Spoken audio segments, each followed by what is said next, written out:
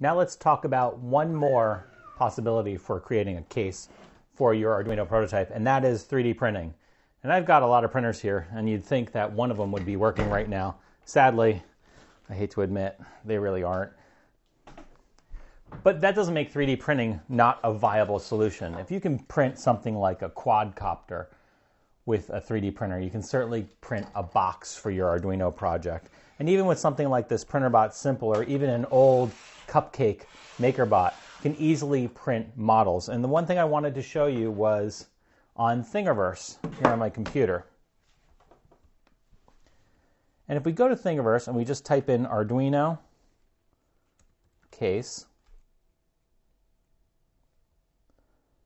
you can see a lot of things come up. There's all sorts of cases that you can print.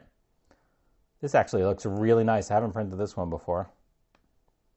And it has some pretty interesting features. So this one actually doesn't hide all the header pins, so it's a pretty neat enclosure for your Arduino.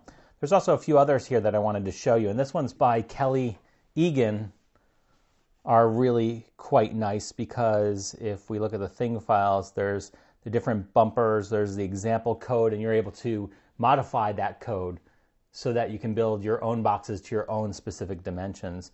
Another one that I liked here was by Old Steve, and he has some pretty cool faceplates that hold PIR sensors and ping sensors and all of that.